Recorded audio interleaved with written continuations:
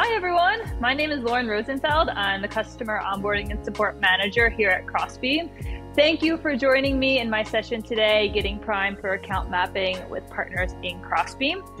Uh, here at Crossbeam, we like to talk about our favorite partnerships. We think Crossbeam, we think partnerships. So I wanted to tell you my favorite partnership, which is Bugs Bunny and Michael Jordan. Big Space Jam fan over here. The original version, 96. Um, nothing against LeBron. The new one was fine, but you got to stick with the OG. Um, all right, so what is this session about? We are going to be doing a warm up for your account mapping. So, getting your Crossbeam account up and running. The faster you and your partners are set up on Crossbeam, the faster you can begin your account mapping and building your partnership. I recommend logging into your account and following along for today's session. Today, I'm going to show you how you can invite your teammates into Crossbeam as well as your partners, how you can upload your data, create your populations. I'll get into what that means if you don't know yet, uh, set up your data sharing rules, and then lastly about mapping the accounts. Uh, first things first, here at Crossbeam, we take your security very seriously. Trust is our business, and we have an amazing security portal that you can check out.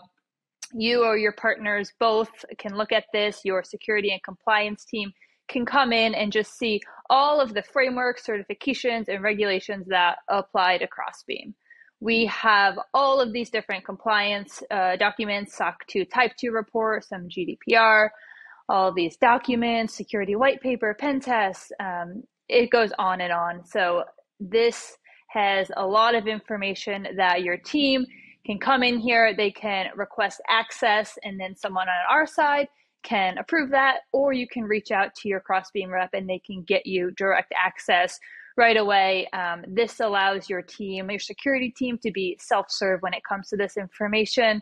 They can even set up a notifications. So subscribe to new documentation as it comes in, maybe a new audit report or a new pen test is uploaded. We have the option to subscribe to the notifications. All right, now for the fun part, we're going to get into a Crossbeam account. I have a brand new account set up here, and you'll see this handy dandy setup guide. So this guide is going to take me through all of the items I need to do to get my Crossbeam account up and running. It's a nice checklist to keep you uh, on track, make sure you're doing everything you need to to get your account fully onboarded. So looking at this, let's actually start with inviting team members. When you sign up for Crossbeam account, you're going to be uh, the first admin by default, but you can bring in up to three users in your free Explorer tier account with Crossbeam. Maybe there's more people on your partner team or sales manager, marketing manager, whatever it is, you can invite them into Crossbeam, even control the role with different uh, permission settings that they might have within accessing Crossbeam. So definitely bring your team in here, share the Crossbeam love. All right, moving on to inviting your partners. Inviting your partners into Crossbeam is simple, it's flexible, you can think of Crossbeam as LinkedIn. You want to bring your partners into Crossbeam just like you would add your new connections on LinkedIn. So we can do that a couple of ways. First, you have your own custom invite link. So you can send this to your partner, email, Slack, however it is you communicate with them. And when they click the link, it'll get that partnership initiated, and you guys can then uh, be connected within Crossbeam. Or you can invite directly through the interface down here. I'm going to invite Crossbeam. All right, so you'll see here that I now have my outgoing partnership request out to Crossbeam. Uh, once that is accepted, this will be checked in my setup guide. But please know you can have unlimited partners in your Crossbeam account. So no need to stop at just one. You can keep it going, uh, bring in your tech partners, your channel partners, your prospective partners, uh, anyone that you want to work with in Crossbeam, bring them in, invite them on this page, or send them that custom invite link that you have. While we're talking about inviting partners into Crossbeam, what about finding new companies to partner with? That's where we recommend Partnerbase. Partnerbase is like Crunchbase, but for partnerships. It's this public database of partnerships that exists between B2B companies, and it's organized in this cool network graph, and you can also view it uh, in a list view. So let's come in here.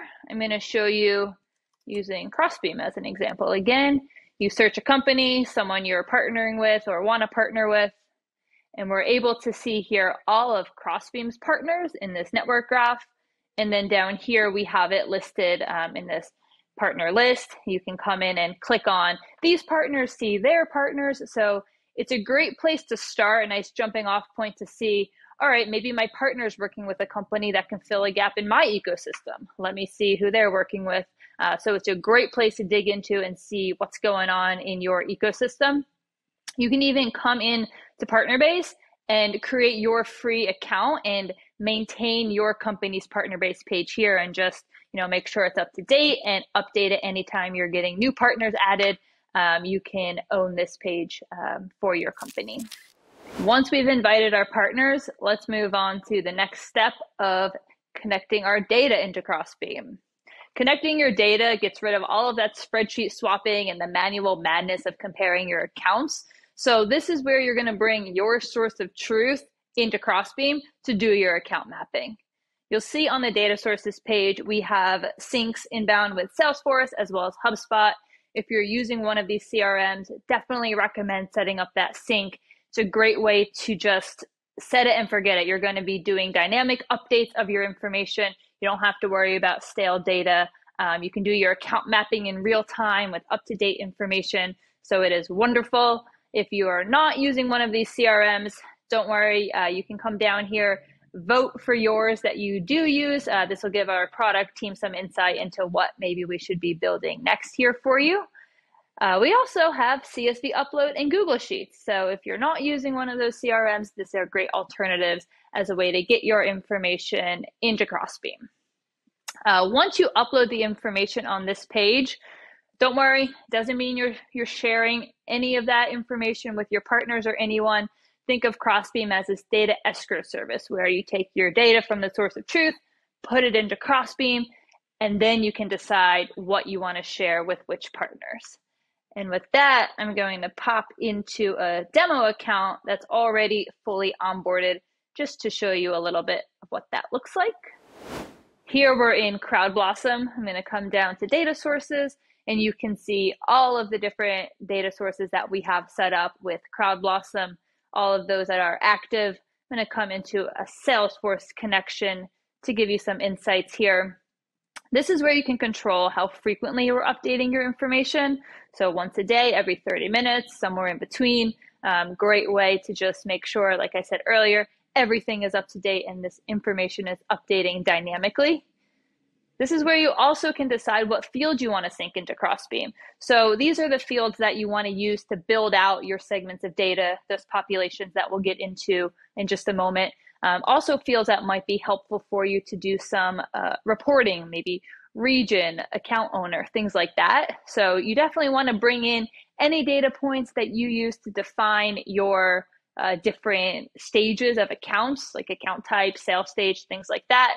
Uh, coming here, you can decide to sync additional fields or unsync fields. So a lot of control and just to stress does not mean you're sharing all of these data points. This is just in your view within Crossbeam. This data is powering our populations.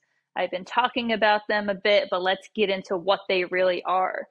Populations are segments of your data, like your customers, your open opportunities, your prospects, and these are used to organize your data.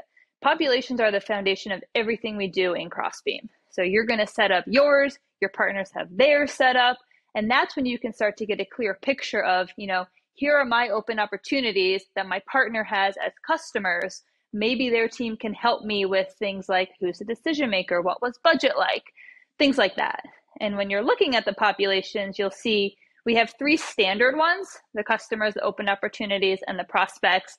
These are set up, they're pretty broad because you can get more granular later on in crossbeam reporting. But you definitely have the ability to create custom populations like churned accounts, closed lost accounts, um, things like that. You have complete control over how you define these populations. Everyone defines their accounts differently. I've had customers who define their uh, customers as sales stage equals happy. So you have to tell Crossbeam how we want to define these lists. And let me show you uh, with a closed lost population. I'm brought to this population builder where I give it a name, option for a description, and then I'm going to select my data source. In this case, we'll do Salesforce, and I hit continue. This first brings in everything, but now I tell Crossbeam how do I define a closed lost customer. And we see all of the different fields I'm syncing in from my Salesforce. You even can come back to that data sources page to bring in something additional if you don't see it on this page.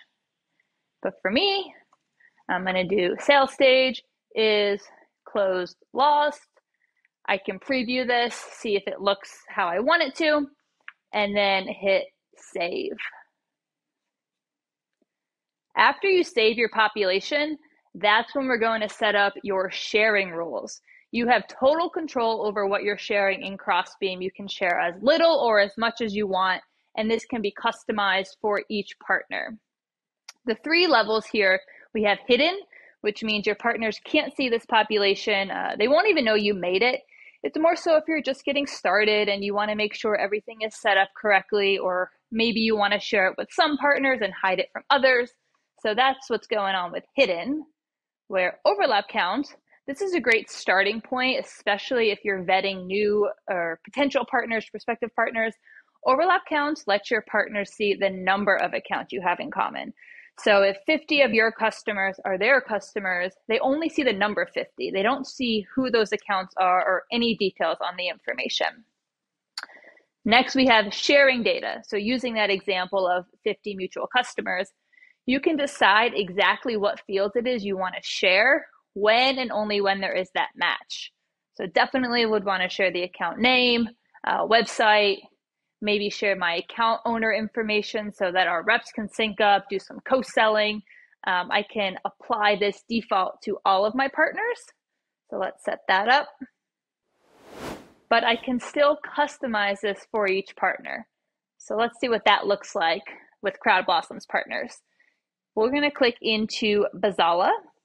And every partner that you have on Crossbeam is going to have this sharing settings tab. This is where you can change the sharing setting from the default.